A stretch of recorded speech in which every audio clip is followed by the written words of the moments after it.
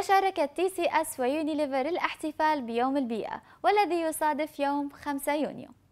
وكان السبب الرئيسي لهذه الشراكة تشجيع السكان على الاهتمام بالبيئة والمحافظة عليها وذلك من خلال أسواق شويترمس اللي دائما بتساعد وتحث على الحفاظ على البيئة.